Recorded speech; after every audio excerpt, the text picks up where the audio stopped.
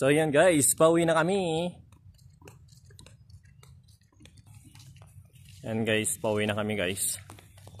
So, kanina umakyat kami doon, nag-sunrise kami. So dito kami ngayon. Ah, dadaan kami sa mangrove. Mangrove ba yun? Mangrove.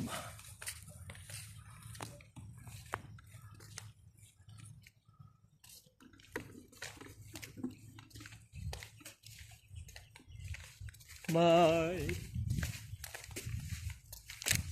So yan. Ah, papasok kami sa gubat.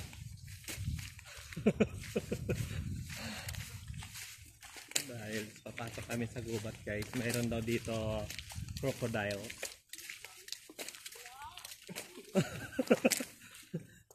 Bilis sumagot eh. So yan.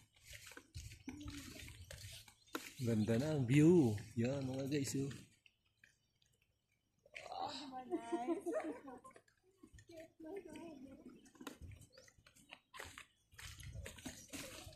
Mas may tingnan mo nga sa cellphone mo kung may signal yung ano, SIM card. Malakas yung tumawa, malakas yung nagkwento. Oo. Yan. Bisaya yan eh. Taga rito yan, pala di sa amin. Lakad-lakad kami. Naging vice, ano yan eh. Ganda ng lugar dito. Oh. O siya, kaya siyempre, iba na naman ang Ito yung mga kasama namin. prophet yan eh. Ito. Pag nagtapos ka sa termino mo, nag ano, ka na naman ang ibang posisyon. Kwento nga siya tungkol kay Vico Soto eh. Ah, okay. Sige ko man ang ano. Sabi,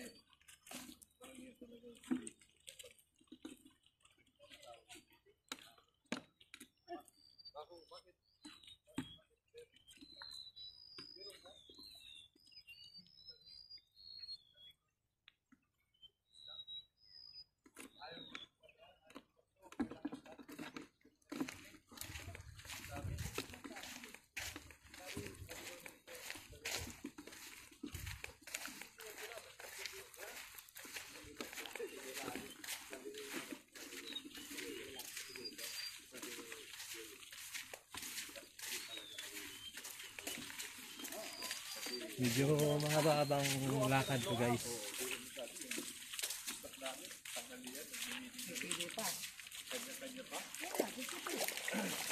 Ang kanyang bayad.